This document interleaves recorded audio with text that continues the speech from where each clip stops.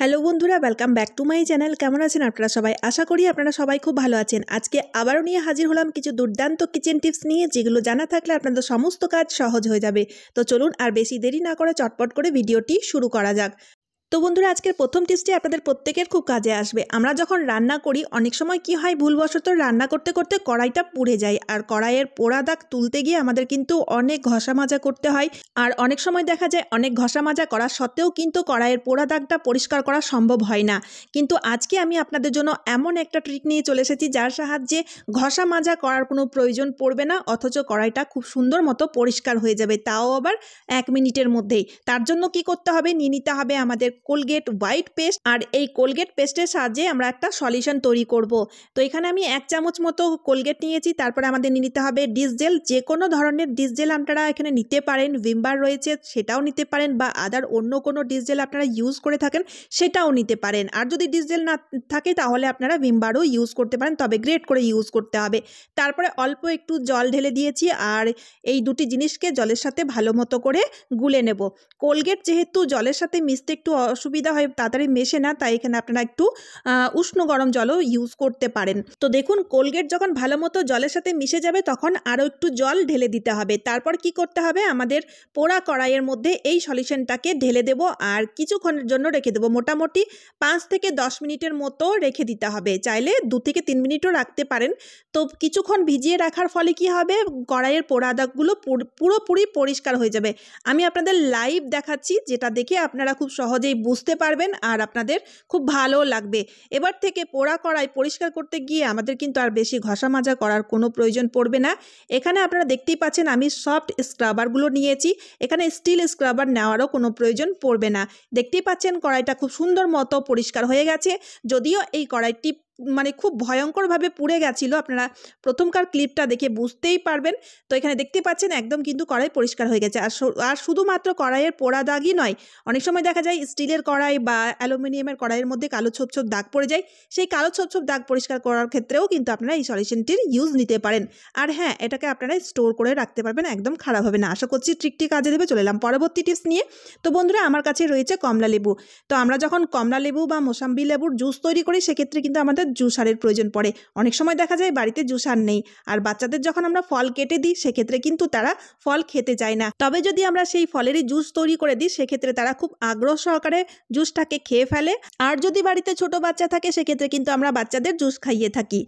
এবার দেখুন বন্ধুরা, বাড়িতে জুসার নেই, জুস কীভাবে তৈরি করব? তার জন্য একটা ছোট্ট ট্রিক নিয়ে নিতে হবে, দুটো গ্লাস। তার আগে কিন্তু ফলগুলোকে মানে লেবুগুলোকে অর্ধেক টুকরো আকারে এভাবে করে কেটে নিতে হবে।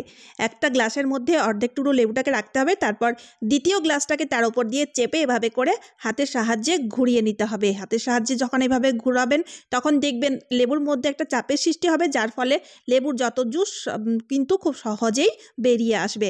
তাছাড়া আরেকটি ট্রিকও বলে দিচ্ছি, এভাবে করে আপনারা গ্লাসের জায়গায় হাতের সাহায্যেও কিন্তু লেবুটাকে চেপে চেপে এভাবে করে লেবুর জুস বের করে নিতে পারেন। দুটি ট্রিকের মধ্যে যেই ট্রিকটি আপনাদের ভালো লাগবে, সেই ট্রিকটি আপনারা ফলো করতে পারেন। দেখবেন খুব সহজেই কিন্তু জুসার ছাড়াই জুস তৈরি হয়ে যাবে, যেমনটি আপনারা ভিডিওতে দেখতে পাচ্ছেন। তো এই যে দেখুন বন্ধুরা, এক গ্লাস জুস তৈরি হয়ে গেছে। তাই বন্ধুরা আপনাদের কাছে যদি জুসার না থাকে বাজারের জুস না খাইয়ে আপনারা বাড়িতেই এভাবে করে জুস তৈরি করে বাচ্চাদের দেবেন। আশা করছি ট্রিকটি কাজে দেবে, চলে এলাম পরবর্তী টিপস নিয়ে। তো বন্ধুরা, কিচেনের মোস্ট ইম্পর্টেন্ট পার্ট হচ্ছে কিচেন সিঙ্ক। আর কিচেন সিঙ্কটা যদি ব্লক হয়ে যায়, তাহলে নোংরা জলগুলো এভাবে করে সিঙ্কের মধ্যে জমা হয়ে যায়। যার ফলে কি হয়? কিচেন সিঙ্ক থেকে বাজে দুর্গন্ধ বেরায় আর আমাদের কাজ করতেও অসুবিধা হয়। আর এই জলগুলোকে পাস করার জন্য আমরা এরকম ধরনের ঝাঁটার কাঠি বা যে কোনো ধরনের কাঠি ভেঙে আনি, আর সিঙ্ক জালিটাকে না এভাবে খুঁচিয়ে খুঁচিয়ে পরিষ্কার করি, যার ফলে কি হয়? সেই মুহূর্তে জলগুলো পাস হয়ে যায়, কিন্তু পরবর্তীতে খুব অসুবিধার সৃষ্টি হয়। সিঙ্কের পাইপ লাইনটা জাম হয়ে যায় আর যত নোংরা থাকে সব পাইপে গিয়ে জমা হয়ে যায়। সেক্ষেত্রে আর আমাদের কোনো উপায় থাকে না। পরবর্তীতে তখন কিন্তু আমাদের প্লাম্বার ডাকতে হয়। তো এমন অসুবিধা যাতে না হয় তার জন্য একটা ছোট্ট ট্রিক নিয়ে নিতে হবে কাঁচি। তবে এখানে ছোট কাঁচি নিতে হবে কারণ ছোট কাঁচির মুখটা খুব ধারালো আর ছুচালো থাকে। আর যেহেতু কাঁচির সাহায্যে দেখুন নোংরাগুলোকে আমরা খুব সহজেই টেনে টেনে বের করতে পারব, তাই এখানে কিন্তু আমাদের কাঁচির ইউজ নিতে হবে। আর এখানে আপনারা দেখতেই পাচ্ছেন সিং জালি থেকে আমরা কত নোংরা বের করে নিতে পারছি। চুল ঢুকেছিল বা অনেক সময় বাসন মাজে স্টিল স্ক্রাবারগুলো ছিঁড়ে ছিঁড়ে কিন্তু এই সিঙ্ক জালির মধ্যেই আটকে যায়। তো সেই, এই ছোট ছোট নোংরাগুলো আমরা ভেতর দিয়ে না পাস করে যদি টেনে টেনে এইভাবে করে বের করে পরিষ্কার করে নিতে পারি, তাহলে কিন্তু পরবর্তীকালে আর এই অসুবিধাটা হবে না। মানে পাইপ লাইনটা কিন্তু আর জাম হচ্ছে না, যার ফলে আমাদের কিচেন সিঙ্কটা কখনোই ব্লক হবে না। তাই বন্ধুরা, মাঝে মধ্যেই আপনারা এই সিঙ্ক জালিটাকে অবশ্যই এভাবে পরিষ্কার করবেন, তাহলে আপনাদের কিচেন সিঙ্ক কখনোই ব্লক হবে না। চলে এলাম পরবর্তী টিপস নিয়ে। তো বন্ধুরা, বাচ্চারা ব্রেড জ্যাম খেতে খুবই ভালোবাসে আর শুধু বাচ্চাই নয়, আমাদেরও কিন্তু মন্দ লাগে না।